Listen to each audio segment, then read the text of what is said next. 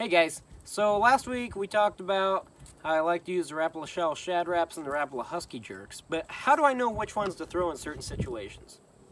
As you can see, the Shad Rap is a little bit shorter than the Husky Jerk, but it has that nice deep profile so it still looks like a really big meal. The Husky Jerk is more of a minnow type profile, so it's going to be a little longer, but it's going to be not quite as deep.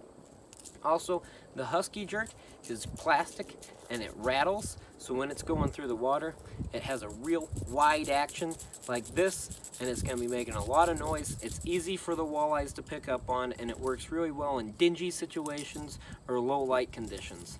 The Shad Rap, this is made out of balsa, so it's not gonna have any rattle, but it has a little tighter action, so I like this in clear water or when it's brighter out. Good fishing.